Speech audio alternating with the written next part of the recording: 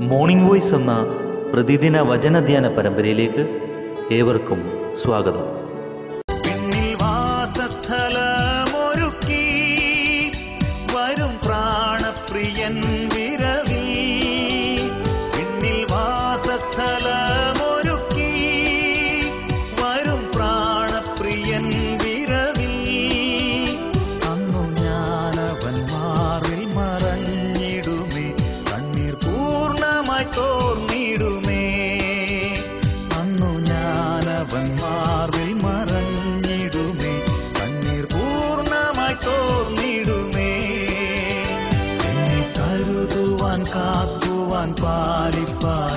എന്നും മതിയായവൻ.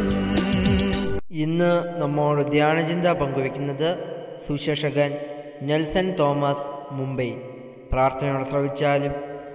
കർത്താവിന്റെ വലിയ നാമം വാഴ്ത്തപ്പെടുമാറാകട്ടെ. നമ്മുടെ അല്പസമയത്തെ ധ്യാനത്തിനായി ഒന്ന് കൊരുന്തിയ രണ്ടാം അധ്യായം അതിന്റെ ഒൻപതാം വാക്യവും പത്തിന്റെ ആരംഭ ഭാഗവും വായിക്കാം. ദൈവം തന്നെ സ്നേഹിക്കുന്നവർക്ക് ഒരുക്കിയിട്ടുള്ളത് കണ്ണു കണ്ടിട്ടില്ല ചെവി കേട്ടിട്ടില്ല ഒരു മനുഷ്യന്റെയും ഹൃദയത്തിൽ തോന്നിയിട്ടുമില്ല എന്ന് എഴുതിയിരിക്കുന്നത് പോലെ തന്നെ നമുക്കോ ദൈവം തന്റെ ആത്മാവിനാൽ വെളിപ്പെടുത്തിയിരിക്കുന്നു. യഷിയ പ്രവചനം അറുപത്തിനാലാം അധ്യായം നാലാം വാക്യം പരാമർശിച്ചുകൊണ്ട് അപ്പോസ്റ്റന പൗലോസ് മൂന്ന് വിലയേറിയ സത്യങ്ങളാണ് ഈ ഭാഗത്ത് രേഖപ്പെടുത്തിയിരിക്കുന്നത്. ഒന്ന് തന്റെ ജനത്തിനായുള്ള ദൈവത്തിന്റെ ഒരുക്കം ദ ഡിവൈൻ പ്രിപ്പറേഷൻ രണ്ട് മാനുഷിക അജ്ഞത ദ ഹ്യൂമൻ ഇഗ്നറൻസ് മൂന്ന് ദൈവിക വെളിപ്പാട് ദ ഡിവൈൻ റവലേഷൻ ഒന്നാമതായി നാം വായിക്കുന്നത് ദൈവം തന്നെ സ്നേഹിക്കുന്നവർക്ക് ഒരുക്കിയിട്ടുള്ളത്.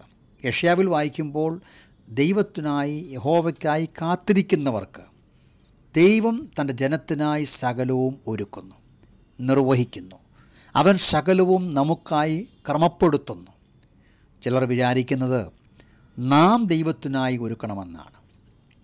അവരുടെ അഭിപ്രായത്തിൽ ദൈവത്തിന് ഇരിക്കുവാൻ സ്ഥലം ദൈവത്തിന് കഴിക്കുവാൻ ഭക്ഷണം ഉടുക്കുവാൻ വസ്ത്രം എന്തിന് ദൈവത്തെ സൂക്ഷിക്കുവാൻ പോലും സുരക്ഷ ഉണ്ടാക്കേണ്ട ചുമതല മനുഷ്യന്റെതെന്നാണെന്ന് അവർ വിചാ- വിചാരിക്കുന്നത്.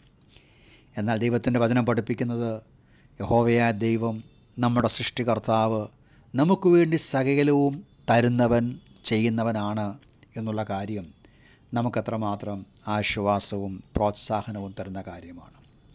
ഏഴാം വാക്യം നാം വായിക്കുമ്പോൾ ഈ ഭാഗത്ത് യഹോവ ദൈവം എന്തൊരുക്കിയെന്നാണ് എഴുതിയിരിക്കുന്നത്.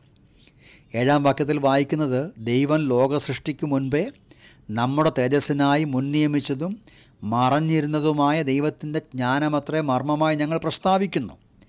കാൽവറിയിൽ കർത്താവ് യേശുക്രിസ്തു മുഖാന്തരം മനുഷ്യന്റെ പാപക്ഷമയ്ക്കു വേണ്ടി മനുഷ്യന്റെ വീണ്ടെടുപ്പിനു വേണ്ടി മനുഷ്യന് പാപക്ഷമയും നീതീകരണവും ആത്മരക്ഷയും ലഭിക്കുവാനായി നിവർത്തിച്ച ആ രക്ഷണ്യ പ്രവൃത്തി അത് ഒരുക്കപ്പെട്ടുവെന്നാണ് ഇവിടെ എഴുത്തുകാരൻ ഓർപ്പിക്കുന്നത്.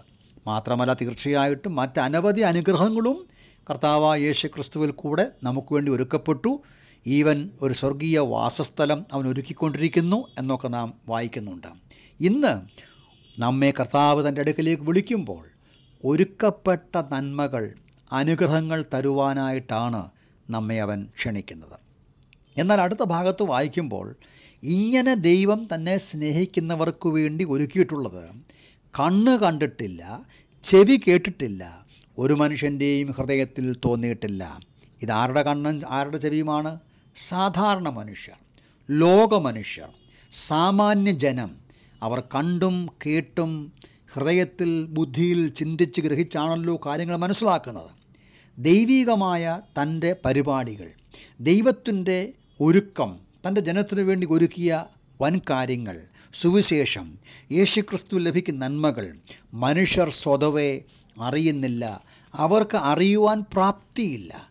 കണ്ടാലും കേട്ടാലും ഗ്രഹിക്കുകയില്ല. അവരുടെ ബുദ്ധി ഉപയോഗിച്ച് ദൈവത്തെയും ദൈവിക കാര്യങ്ങളെയും മനസ്സിലാക്കാൻ പരി അവർക്ക് പ്രാപ്തിയില്ല. ഈ കാര്യം നാം നന്നായി ഓർത്തിരിക്കേണ്ടതാണ്. കർത്താവ് പലപ്പോഴും പറയുകയുണ്ടായി ലോകം എന്നെ അറിയുന്നില്ല.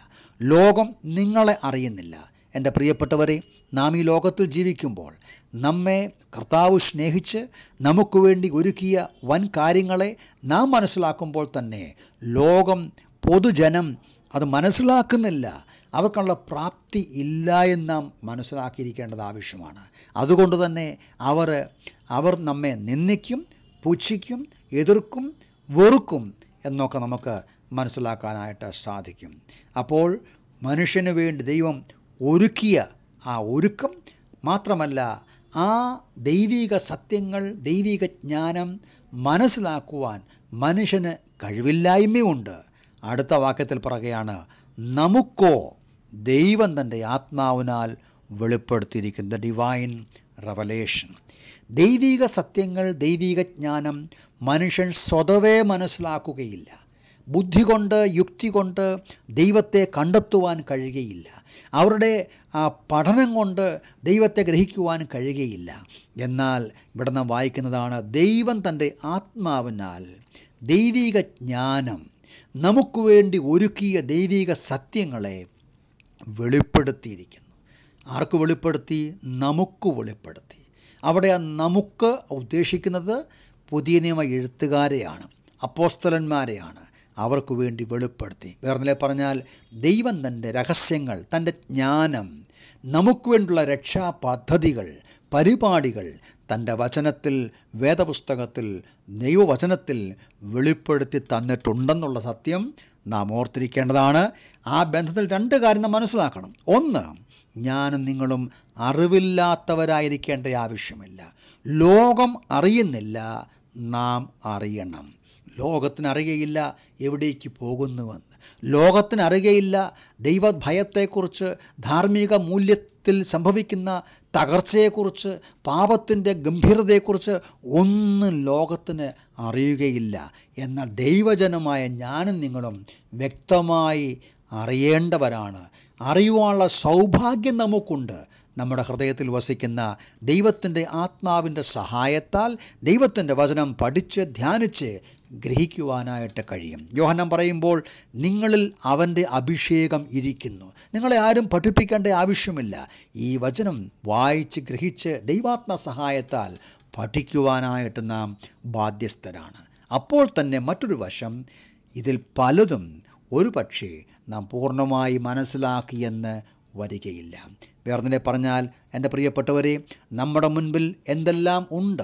നമുക്ക് വേണ്ടി ദൈവം എന്തെല്ലാം കരുതിയിരിക്കുന്നു?